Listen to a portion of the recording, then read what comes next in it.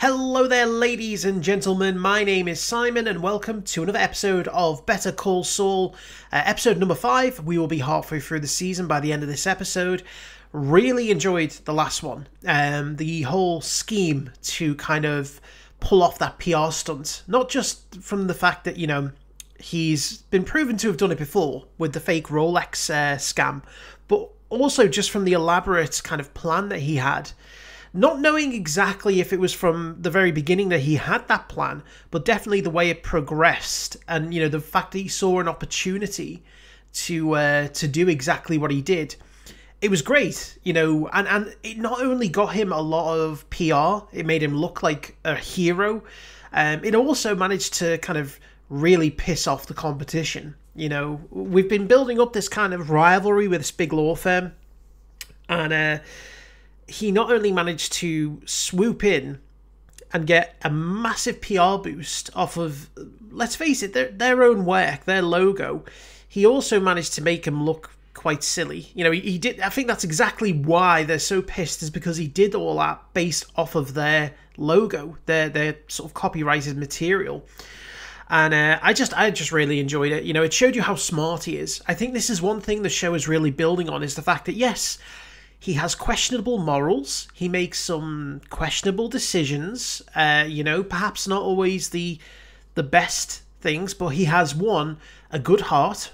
You know, he does really care about innocent people, cares about kids, doesn't really want anyone to get hurt.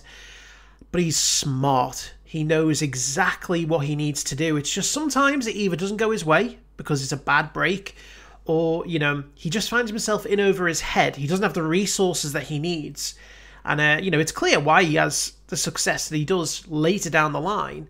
Um, though again, I think Breaking Bad is a great example of him getting in over his head with Walt, you know, and that's why he ends up where he does. Um, but again, we're continuing to build on some of these personal relationships with uh, Kim. Chuck now knows that he's lied to him uh, although it did get Chuck out the house, which I was very, very happy to see. I don't know if that's gonna. It's gonna go one or two ways. It's either gonna make his condition even worse and keep him further inside, or it's gonna, you know, kind of be that foot in the door to get him back onto the road to heal. Because he might now not only have been outside and, you know, yes, obviously it wasn't a pleasant experience for him, but having been out there, he might, you know, he might realize, well, that wasn't so bad and also, you know, the idea that Jimmy is out there on his own doing these things, Chuck might finally think, I need to get out there to save him from himself, you know? So who knows? That's going to be an interesting point. But uh, yes, we're going to jump in, see what happens next. So let's watch episode 5 of Better Call Saul.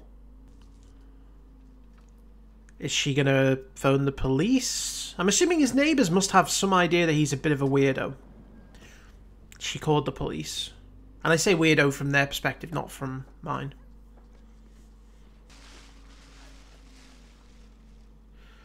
Oh, I've, I've just realised the police can have their radios. They're going to have, you know, a lot of equipment that is electrical. How's he going to respond to that? Did your neighbor consent to sell you her paper? it's this is like so petty, but you know, it isn't. It is the law. Um, officer, let's let's let's talk about something called probable cause. As I'm sure you know, in the state of New Mexico, there is a two-part test to determine whether police officers have an objectively reasonable basis. He surely can't break in. Like, this is the thing for me is that again, like, there's no need for this. He's having a peaceful conversation, and this guy's trying to get into the house from behind.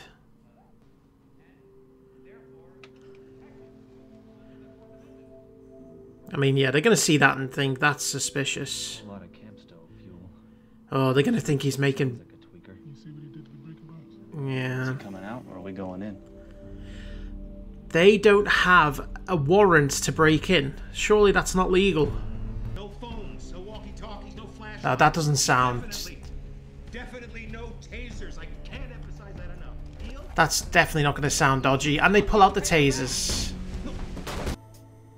Again, it's just a good example of like the police overstepping their bounds. Like, they had no right to break in.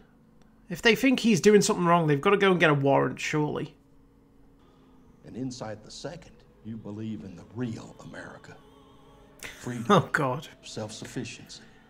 This guy's got Republican written all over him. Really do.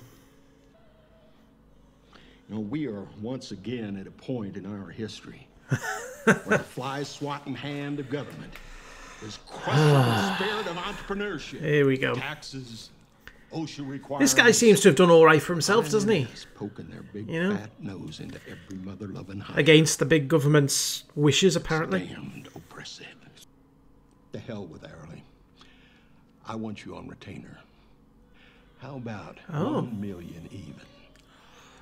Five hundred up front. Okay. That's. Five hundred when we're done. I get the feeling he's Million. he's desperately trying not to poker face. Would you like that in cash? Yeah. He just happens to have half a million lying around in cash in his home.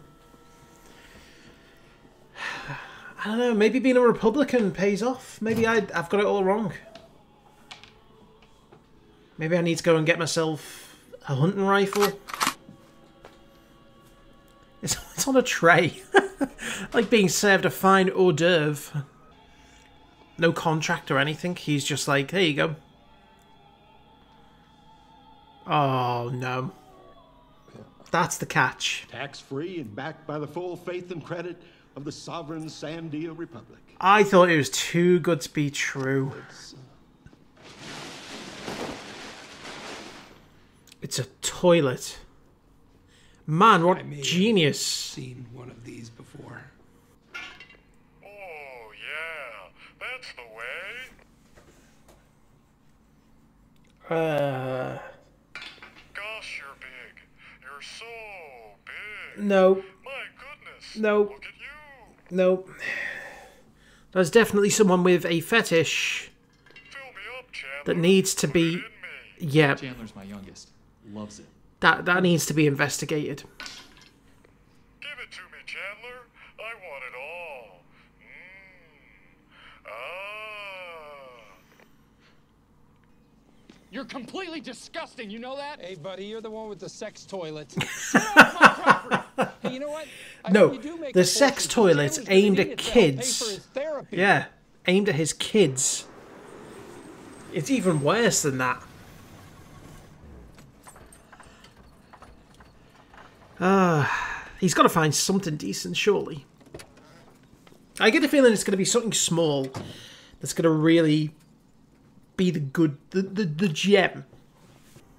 I watched my grandmother at the end. It's it's awful what people have to deal with. Insurance companies, my scumbag cousin stealing her savings and her pain meds. So it's a morally righteous thing to do, which he would enjoy, but I don't think it would be the most financially rewarding, which is also what he enjoys.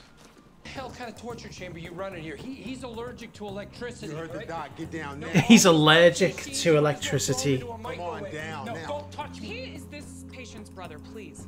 In my opinion, Charles should be committed for 30 days of psychiatric observation. Yeah, it is definitely mental. Family member, you can submit a petition for It, it it's evaluated. something he needs to. There's an to. excellent facility in Yeah. Las Cruces. He can He needs medication. tomorrow. Must have been almost two years. Two years. Mm-hmm. That's a that's a long time. To But he's never been to see Oh, there it is. a clinician. You think I'm crazy? I never said that. Also, No, apologies if you can hear banging. They But you I think- decide to start road work as soon as I'm recording. You, how do you meet the needs of daily life? What do you do for light? How do you prepare food? Gas lamp. I use white gas lanterns. Uh, for cooking, I have a camp stove. I have a Oh, large she's cooler turning things on. With ice. This is again to prove It's whether it is ideal, actually I make do. the devices. Because again, he needs to know that they're on. Would you mind if I took a moment to speak with your brother? Or And others. he is. Coleman lanterns indoors, a camp stove. he could burn his house down or the entire Mm, that's a bit of a neighborhood. Then you're looking at stretch. A commitment of 10 to 20 years. That is a that is a stretch. I mean, you're just as likely to burn yourself down being drunk. You know, trying to make a fry up. You have the power to help your brother.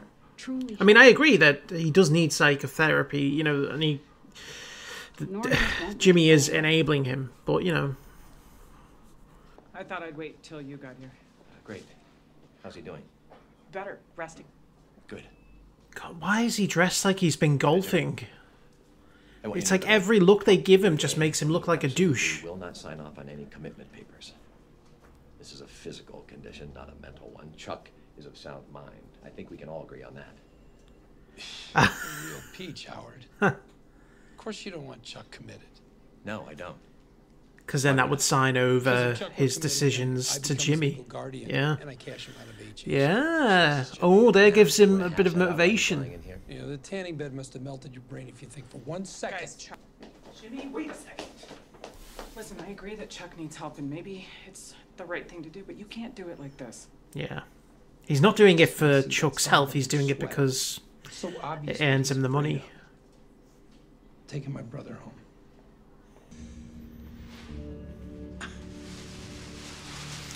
It is pretty amazing how the human mind can conjure all of these symptoms based off of stress, trauma, whatever it might be. You know, make you feel physical pain from something that isn't painful. I didn't get sick because I read about you in the paper. I got sick because I went out of my house to retrieve. This is starting to make a bit more sense now. I'm too tired for this argument. Jim. It could be all linked to his concern for Jimmy. You think this is the return of Slippin' Jimmy, but it's Mm. not. And I'm going to give them the best representation I know how to provide. I- I'm on the up and up, okay? I will be good.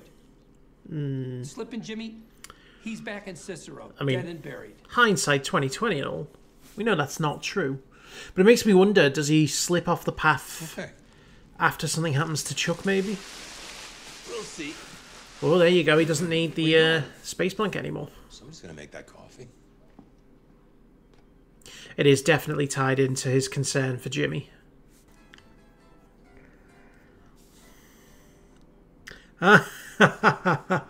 That's very clever. That's very clever advertising, to be fair. Oh, wow. Like an angel in white coming to claim their mortal soul. The rules for parking validation are actually pretty simple. Most people get it on the first go. Well, you'll be pleased to know I have the requisite stickers.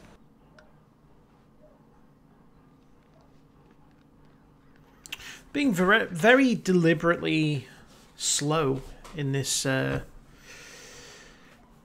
this portion of the story. You know. And again, it's, it harkens back to, I guess, the very beginning of the first episode where they took their time introducing Jimmy or Saul.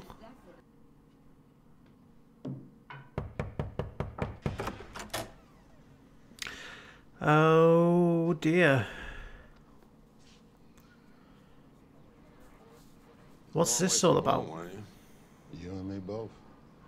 So, um, yeah, firstly, apologies if you hear a banging or a construction sound outside. For whatever reason, they just decided to suddenly start with this really annoying, constant banging sound, doing some construction work outside. Just, just when I'm happened to be reacting, you know, appreciate that.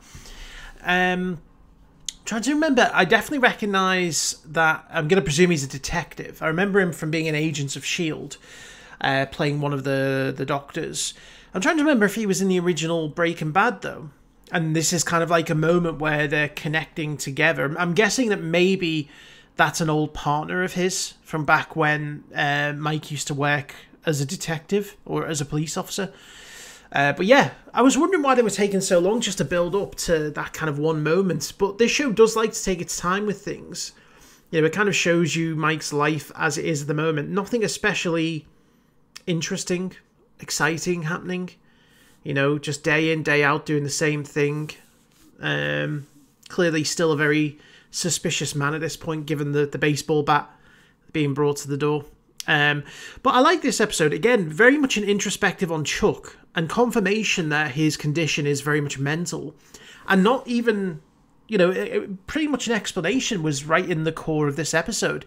Jimmy's behavior and Chuck's concern for him slipping down that road is potentially what's triggered this. And we can see that he does get better when he's reassured that Jimmy's on the straight and narrow. So I, I do find it amazing though how, you know, the human brain can stimulate so much from just a subconscious thing. It can make you feel physical pain, physical discomfort. You know, it can it can give you heart palpitations just from something completely non-physical. Um, but it's good to actually just get a bit of an inkling as to what it was because I couldn't, for the life of me, I couldn't think of any real life condition that would be physical that would mean that, you know, electromagnetic radiation would affect you on such a level. And I, I did think to myself at one point, well, he's surely got to know that there's something electric in the room near him for it to be effective. So the doctor's test, as it were, was was very uh, clever and a confirmation of exactly what it was. I also liked the conversation outside, um, you know, where Jimmy puts on this sort of act to make, uh, basically to confirm his suspicions that the only reason um, that I forget the name of the lawyer now, not Kim, the other guy. Uh, the only reason he's concerned for Chuck is because he's concerned about Jimmy taking over his, you know, business and then being able to cash out. You know, and then he he portrays himself in a way that makes it look as though he's doing he's going to commit him because that's what he wants to do. But actually, you know, it was it was a bit of reverse psychology, very clever. Again, I, I think in these first five episodes, it has definitely shown us so much of the good of Jimmy. You know, his his intelligence, his charisma, his wit, um, you know, his his just hard-working attitude. There's so many things he's got going for him. And you know, it's just it's just a shame that he has this tendency to um to want to be successful given any cost. And and right now that's kind of a very subtle personality trait, but I think as time goes on we'll start to see that come out more and more as he finds more and more success in illicit goings on. We'll start to see that side of him come out more and more. And I get the feeling that, you know, something might happen to Chuck that will really send Jimmy over the edge and push him to be that person that we see many years later in Breaking Bad. Um, but again, this episode was just really good at giving us that kind of insight into, you know, not just Jimmy himself, you know, but Chuck as well. Um, you know, and again, the the craziness of the stories, the guy who wants to secede, and you think a million bucks, wow, that's amazing, and then you start to see the game. He presents him with his own money, and it's like, mm, there we go. I kind of thought it'd be too good to be true. Um, you know, and, and then the guy with the toilet, I was like, yeah, d- this dude needs to be searched. There's something not right there. There's really something not right. Um, and then the sweet old lady, you know, that, you know, was ironically the most successful venture that he had. Um, but I love it. I love it when it does that kind of um, subverting your expectations kind of thing on a small level, you know, on, on a comical level. Because, you know, that's it's it's like oh things are picking up. Actually it's not it's all the crazies and all of the weirdos that are phoning him. So i, I like that. Um, but yeah we'll move on to the next episode. In the meantime thank you very much for watching and uh, i will see you for the next one